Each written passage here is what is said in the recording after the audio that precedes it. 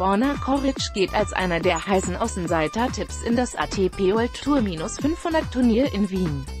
Milos Raonic hingegen ist weiterhin auf der Suche nach der Form der früheren Jahre. Von Jens Huber aus Wien die Frühversationordnung im Sonntag auf dem der Coach von Borna Koric observierte die Übungseinheit seines Schützlings mit Milos Raonic und dessen Betreuer Goran Ivanisevic. Und konnte wohl dennoch nicht jeder sprachlichen Nuance folgen. Amtssprache Kroatisch.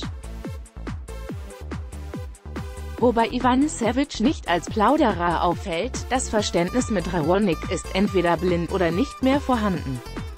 Zweimal hat der Wimbledon-Sieger von 2001 in der Stadthalle reüssiert, zu Zeiten, als das Finale noch im Best-of-Five-Modus ausgetragen wurde.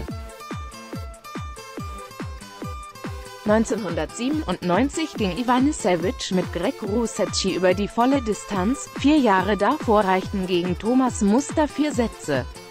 Dass er dem Standort Wien verbunden ist, zeigte der mittlerweile 47-Jährige vor zwei Jahren, als er bei der zweiten Auflage der Tiebreak-Tens aufschlug gegen aktive Größen wie Andy Murray, Dominic Thiem oder Jo Wilfried Tsonga.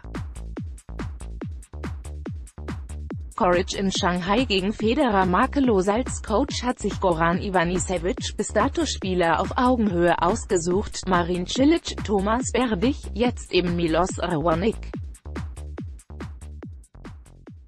Allesamt Profis, die in der Spieleröffnung ihre Stärken haben, wie eben Ivanisevic in seiner aktiven Zeit auch.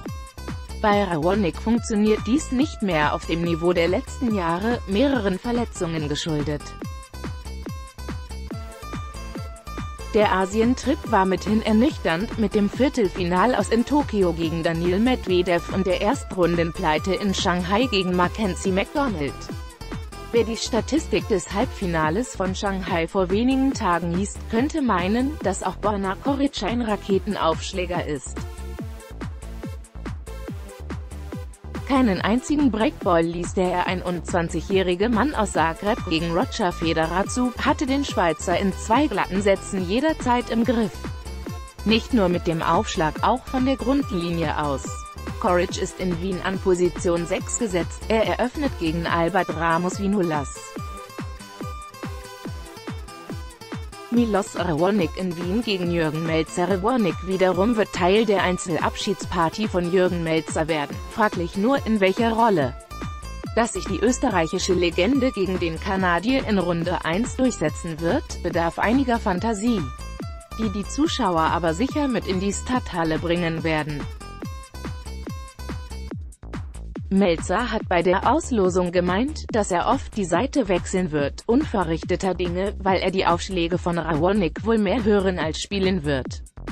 Gute Nachricht für Melzer, aber auch für Spieler wie Borna Koric, das Geläuf bei den Erste Bank Open 2018 ist mit jenem aus Goran Ivanisevics Hochzeiten nicht zu vergleichen. 1997 war ein sozialverträglicher Absprung die Ausnahme, heutzutage haben in Wien beinahe alle Spielertypen eine Chance. Koric wohl eher als Raonic, das vermitteln nicht nur die Trainingseindrücke, sondern auch die Ergebnisse der letzten Wochen. Eine ernstere Wiederauflage der Einheit vom Sonntag könnte es im Übrigen schon am Freitag geben. Da sind die Viertelfinali in Wien avisiert. Hier das Einzeltableau in Wien.